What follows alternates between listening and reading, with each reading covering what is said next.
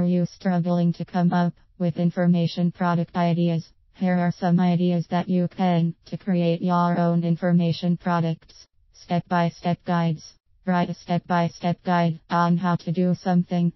Lots of people are looking for this type of information because they want something that they can easily follow. Examples are step by step guide on how to bake the perfect Victoria sponge. Easy to follow guide on building your own rabbit hutch. Home study courses. Sometimes people are looking for something more in depth or advanced that they can go through in their own time at home. Perhaps they are working on a longer term project. Creating a complete home study course will enable someone to go from A to Z so that they can complete the thing they want to. Live training programs. There are always people who want to learn something live. It enables them to ask questions as they are learning.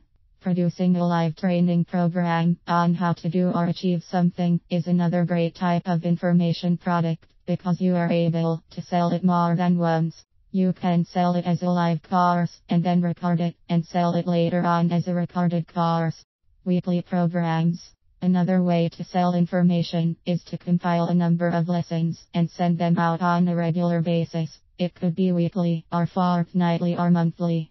You could create a membership site so that the lessons only become available after a set period of time. Having this type of information product enables you to generate a recurring income. Coaching programs. People might be able to get the information they need, but often there are those who want the feedback and accountability that comes with being in a coaching program. The only difference with a coaching program is that your clients will have some way of communicating directly with you. The information that you provide can be exactly the same as any of your other products. Various formats. You can also use various formats for your information products such as video, audio, or written format.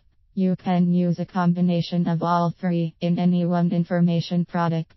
Don't forget that you can also create a physical version of your information product, such as turning an ebook into a physical book or a video series as a DVD that can be shipped out.